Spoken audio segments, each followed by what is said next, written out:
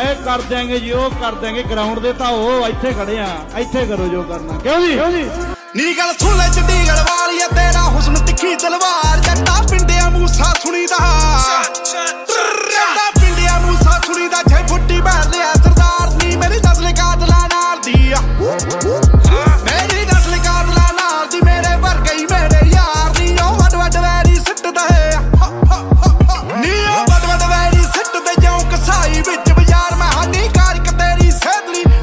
ਸਹਿਣਤਾ ਮਾਰਦਾ ਨੀ ਕਾਰਕ ਤੇਰੀ ਸਹਿਤ ਲਈ। ਨਾ ਮੈਨੂੰ ਸਹਿਣਤਾ ਮਾਰਦਾ ਨੀ ਕਾਰਕ ਤੇਰੀ ਸਹਿਤ ਲਈ।